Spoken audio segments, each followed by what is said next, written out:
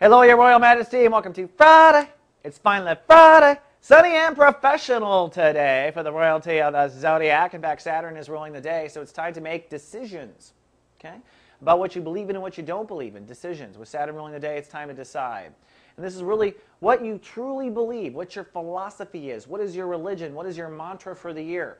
That's the decision. And remember, when you make these decisions, life does kind of autopilot around it. It's like the constitution of our own land. What's your Bill of Rights? What are the laws of your lands?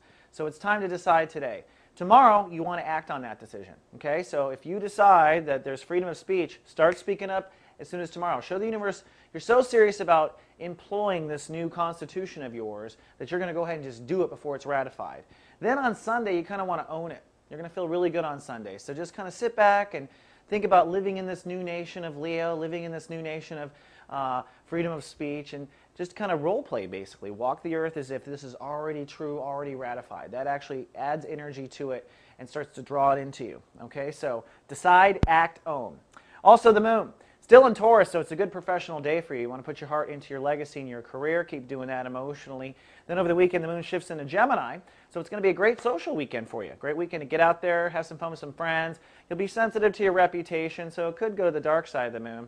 And you definitely want to have good communications and, and invest emotionally in your reputation and status. Okay, so put your heart into what you want to be. Then on Sunday, Mercury is retrograde. Mercury goes retrograde on Sunday, so we all lose our minds on Sunday. So if you have an important conversation with someone, I recommend you do it in the next 48 hours.